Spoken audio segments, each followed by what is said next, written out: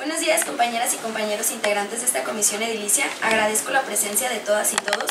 Les doy la más cordial bienvenida a esta segunda sesión ordinaria de la comisión edilicia de planeación para el desarrollo urbano, rural y habitación popular para el periodo constitucional 2021 a 2024 con fundamento en el artículo 56 del reglamento para el funcionamiento interno de la del Ayuntamiento Constitucional de Tonalá, Jalisco. Solicito a la Secretaría Técnica le dé lectura a la propuesta del siguiente orden del día. En el mismo sentido, se le pide que en términos de lo dispuesto en la fracción 2 del artículo 74 y 76 del Reglamento para el Funcionamiento Interno de las Sesiones y Comisiones del Ayuntamiento Constitucional de Tonalá, Jalisco, tome asistencia y verifique la configuración del quórum legal. Muy buen día a todas y todos los presentes. Como lo solicita Presidenta, procedo a leer el orden del día que se propone, el cual es el siguiente. Punto número 1, lista de asistencia. Punto número 2, declaración de quórum legal. Punto número 3, lectura y en su caso aprobación del orden del día. Punto número 4, lectura y en su caso aprobación de la minuta de la sesión ordinaria de la comisión, celebrada el día 23 de noviembre del 2021. Punto número 5, presentación del plan de trabajo de la Comisión Edilicia de Planeación para el Desarrollo Urbano, Rural y Habitación Popular.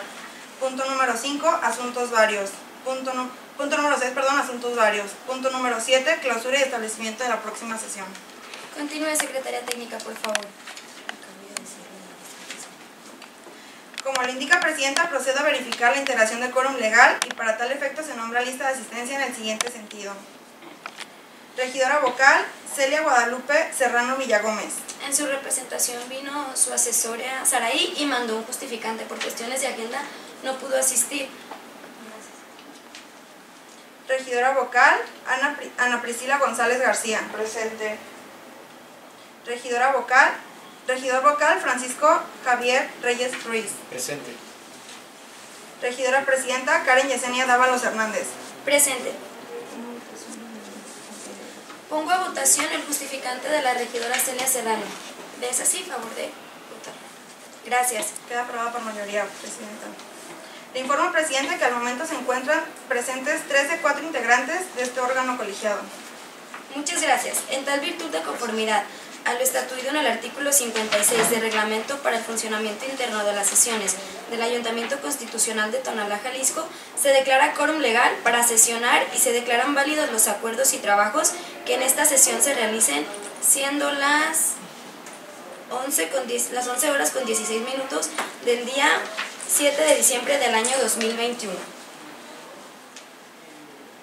Para continuar con el punto 3 del orden del día, se somete a consideración de ustedes, compañeras y compañeros regidores, la aprobación del orden del día, por lo que en votación económica les pregunto si lo aprueban. Aprueban. Queda aprobado, Presidenta, por mayoría. Para el desahogo del punto 4 del orden del día, que tiene que ver con la lectura del acta de la sesión anterior celebrada el día 23 de noviembre del presente año, les informo si en votación económica se aprueba omitir la lectura del acta y en su caso la aprobación de la misma, ya que fue enviada a sus correos para su respectiva revisión. Si es así, favor de aprobar.